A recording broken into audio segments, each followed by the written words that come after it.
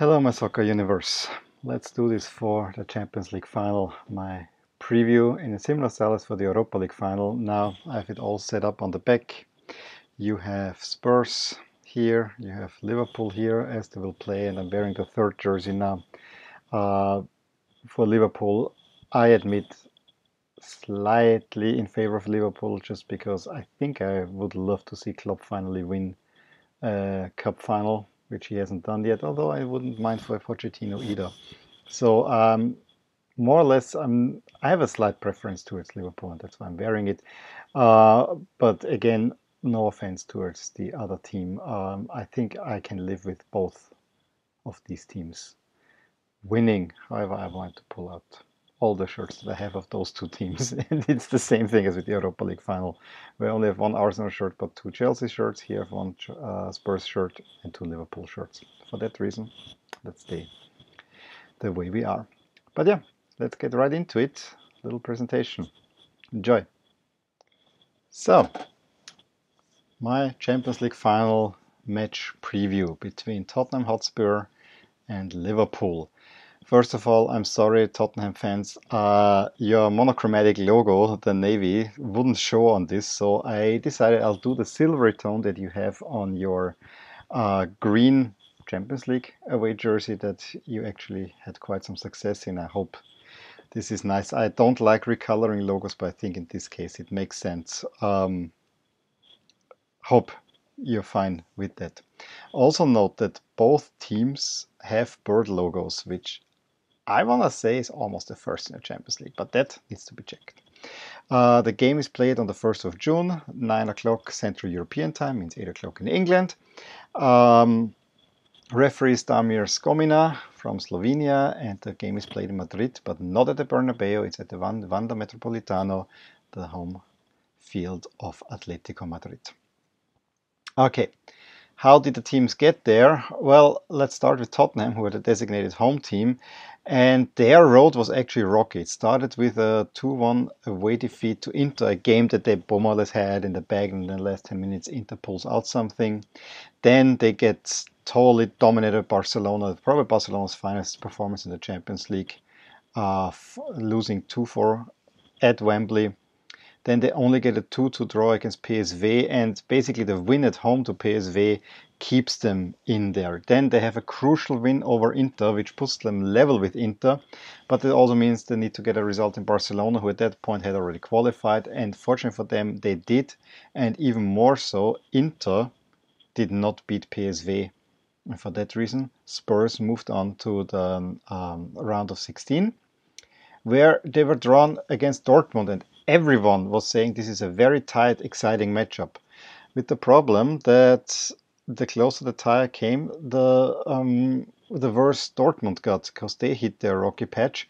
But even though in the first leg, the first half was quite even, with Dortmund even having slight, um, slightly the upper hand, but Spurs scored three goals in the first half. In the away leg, oh, I'm sorry, here is a typo. It's not A0, it's 0 0. Uh, in the away leg, similar story. Dortmund missing chances in the first half, don't get it done. Uh, then um, Tottenham scores the one goal, so it should be 1 0. And uh, right after half, Kane just puts it away. Then the crazy tie against Man City. Uh, beforehand, I said every English duel except Man City against Spurs will have uh, kind of a story. Well, it, now it has. It didn't have before, now it has. Uh, the home leg, Aguero uh, penalty, or I should better say it, uh, Lloris saves it, and Son gets the uh, vital goal. However, also Kane got injured in that one, and this will factor in probably in the lineup uh, today. Uh, not today. Yeah, probably today when this posts. And then in the away game, uh, probably the craziest 20 minutes you'll ever see to start the game. I think City taking lead, then uh, Spurs getting a 2 1, it's 2 2, 3 2. Um, at one point it's 4 2, and then the Llorentes goal, the handball uh, that counts. And then to on the reverse side, uh, a goal by Aguero is taken off because of offside thanks to VAR. An absolutely crazy, crazy, crazy game. That sets up a semi-final with Ajax, uh, who had just beaten Real Madrid and Juventus and were flying high and completely dominated the first leg, um, where not only was Kane injured, but Son was also out. Ajax won 1 0. Probably could have gotten more, but you know, Spurs also had their chances. In the away leg, Ajax enjoyed a 2 0 lead, a 3 0 lead on aggregate, uh, and then completely collapsed. Uh, Tottenham put in Llorente, uh, who I know I was always joking is kind of a useless player, but he was very useful there because Ajax could not deal with him. And then Lucas Moura has a game for the ages and scores um, 95th minute winner, although his finest goal, I think, was the equalizer in that game. So definitely um, a heart attack game. However, Liverpool also had this. And similar to Spurs, a very rocky start in the group stage. Um, again, here's a type which should be 3 2 home to PSG. I'm sorry, I did this way too fast, I guess. They won 3 2 at home to PSG, then lost 1 0 at Napoli, where Napoli completely outplayed them um, and probably should have gotten more than just this uh, one winner. Then you think it's ahead on cruise control again, 4 0 against Cervena Zvezda. However, away from home they lose 2 0 and Liverpool's in serious trouble. And it's only that uh, Napoli only uh, draws twice against PSG that um, Liverpool is still in the match. At that point, even PSG was in danger of um, being eliminated, but then Liverpool they Liverpool loses away from home 2-1 and the away from of Liverpool that was what hurt them in the group stage and they get the vital win against Napoli uh, at, at home which was deserved although Nap- there was a huge save by Alisson in there. You went into the round of 16 uh, kind of not knowing against Bayern what Bayern team will show up. And in the home game, it was just a nil-nil. And I don't remember seeing many highlights. I know that Alisson made a save, but it was not a great game. In the away leg, Bayern completely disappointed. Uh, I think Liverpool got the goal. Bayern even equalized, but then Liverpool completely dominated Bayern and uh, very deservedly won 3 1. Porto didn't provide much opposition. Uh, the game was basically killed off once Liverpool scored a goal there. I think it was maybe for 20, 30 minutes. There was a game, and then that, uh, and then that was that. I mean, in the home game, yeah, Liverpool probably could have won 3 0, but there was also an iffy uh, scene where Porto should have probably gotten a penalty. And then the Barcelona game. In the away game, Barcelona has serious trouble against Liverpool. However, Liverpool don't take the chances, and Barcelona do and therefore it ends 3-0 Barcelona and if Ousmane Dembele wouldn't have wasted two glorious chances at the end that tie could have been over. 4-0 was absolutely in there for Barcelona although it would not have been deserved. I think the game was very level. I think a 2-1 Barcelona something like that would have been very very much deserved. And I remember Klopp saying we have jokingly we have them right where we want to have them uh, they're feeling safe and whether he said jokingly or not, it's exactly what it was. Um, they get their early goal in at Anfield. Barcelona does not take the chances as opposed to uh, the game at the Camp Nou. And then two minutes of madness where uh, Wijnaldum, I think, scores twice. And then Origi, where they absolutely, the Barcelona defense had no idea how, how, how to defend that corner. No one was taking care of it. Origi makes it 4 0. And another heart attack game. So before the return legs, everyone said it's a Barcelona Ajax final. Now we're Spurs against Liverpool. And that shows you how great the Champions League is. Let's look at the honors. We have again two teams from England with one definitely more weighty. Tottenham is the old, older team, but uh, their best years, if you look at it, a long time ago. They won the Premier League only twice in 90, in 51 and 61, whereas Liverpool won it 18 times. And you can see here, I had to summarize. They had here a streak of four consecutive champ, um, um, league championships 81, 82, 83, 84. Um, so just to give you an idea of how dominant Liverpool actually was, especially in the 70s and 80s. Um, but they also are waiting for their first Premier League title. FA Cup is more even, with Spurs even having won one more. However, the last one is in 1991, and that's where I remember Spurs from because they had Lineker back then. Um, since then, uh, Liverpool has won three, but they're still Spurs has a few more FA Cups. League Cups is more in Liverpool's uh, favor again, four versus eight. Uh, the last one for Spurs in seven eight. Uh, this was actually the last title that Spurs have won. Uh, Liverpool in 11 12. And European glory, I mean, Liverpool is one of the big heavyweights, um, but um, it's probably not so well known. Spurs has won three um, European trophies. They won the UEFA Cup in 72 and in 84, and they also won the Cup Winners' Cup in 63. So um, it is not that crazy for Spurs to be in a European final. They have some weight there. Of course, we have five titles for Liverpool, last one coming in 2005, and we have also three UEFA Cup titles, the last one coming in 2001. Both of these finals, finals for the ages. Uh, that has to be clearly said. But yeah, when it goes by titles, Liverpool is the clearly dominant team. They are one of the biggest, if not uh, the biggest in England. Of course, Man United will lay claim to that one too. And uh, they won through the in the Ferguson more titles and FA Cups, as far as I remember. Head to head, also clearly for Liverpool, all time 82 uh, wins for Liverpool, 42 draws, 48 wins for Spurs. They had two meetings this season already, both end 2 1 for Liverpool. I remember the first game, Liverpool dominated, but in the end, Spurs could have gotten an equalizer. I should have probably given a penalty. So they had a 2 0 lead through Wijnaldum and Firmino. Lamela then scores in the 90th, and in stoppage time, there should have been a penalty. But on the other side, Liverpool had so many chances that it was probably the just result. Uh, little bit more crazy at the end of March. Another 2 1 win for Liverpool. Um, Liverpool again dominating the first half, but then Spurs came out uh, of, of that one actually quite strong, got their equalizer, and then it was an Alderweireld own goal after a really, really bad uh, mistake by um, that handed Liverpool uh, the win. And you gotta say, um, that's the last time that they met. I would hope for uh, sake that he will take it to heart that this will not happen again.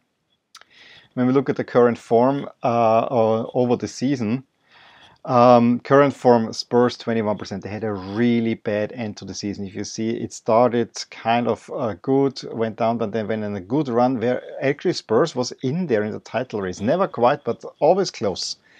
Um, but towards the end of the season, especially once Kane got injured, I know that the Champions League results probably pulled them out, but they had a really tough losing streak right here. Uh, February, uh, no, March, in the entire March was kind of a horrible month for Spurs. And the end wasn't all that great either. They just barely made it into the Champions League. Uh, in yeah, into the Champions League via the league for the next season. However, average from 59% is not all that bad. You can also see when we look at the Champions League here, the win probabilities for Champions League. Uh, at the head and the, at the beginning was always around 4 or 5%. Then they had this really the two losses that put them basically at zero and then slowly clawed themselves back in. When they won against City, you can see it, it spiked. Uh, and after the loss to Amsterdam at home, it fell down almost to preseason levels only now. They're sitting at about, I think, 28%. Liverpool, on the other hand, has been flying high almost all season. You see, even their bad stretches here, and this is only bad because of the Champions League, not because of um, the league form. They got losses in the Champions League, but uh, picked up results in the league, and this is where the dip in fall is coming from. Before Christmas, they were absolutely flying high. Then they had a dip, and this is where they lost the championship. But again, very high flying at the end. And if you look also at the win chances, uh, always around 10%, 10%, 10, 10, 10%. Then they make it to uh, the quarters. They make it to the semis. They lose to Barcelona. It's their worst ever, and they turn it around and win it.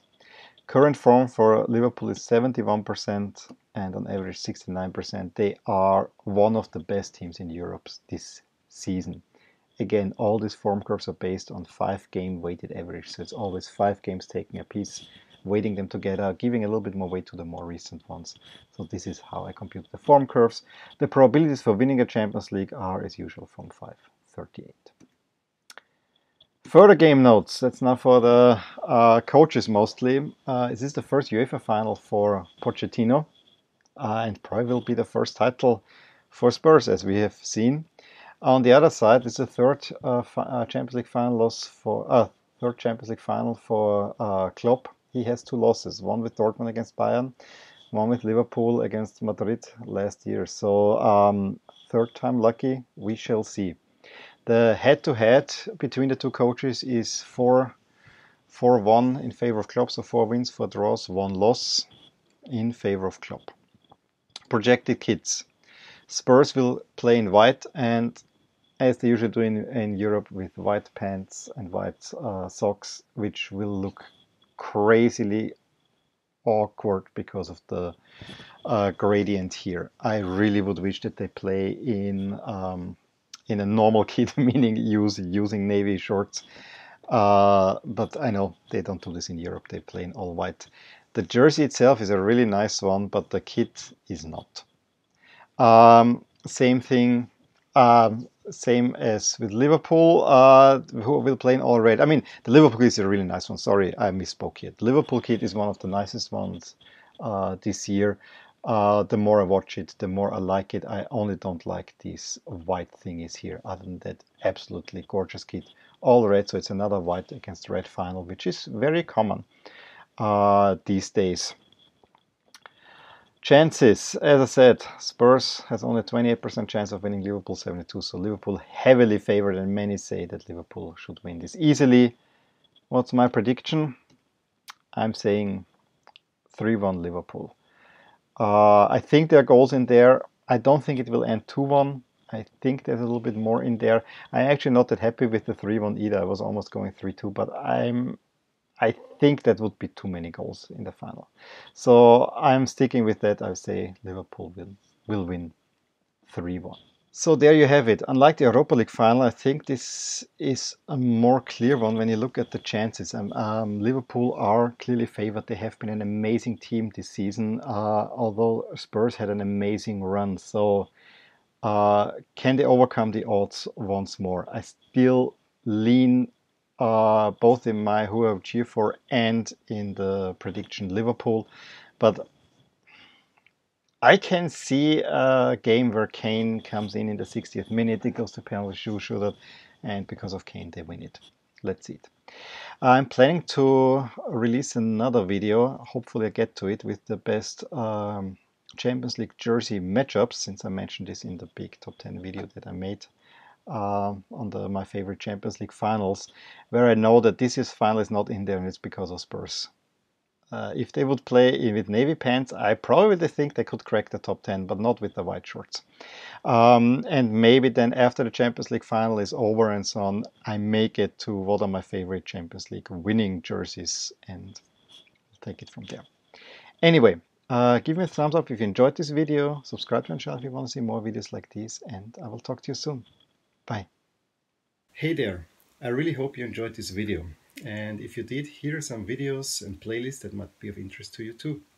Also, please consider subscribing to my channel as it will give you all the updates on my channel, all things My Soccer Universe.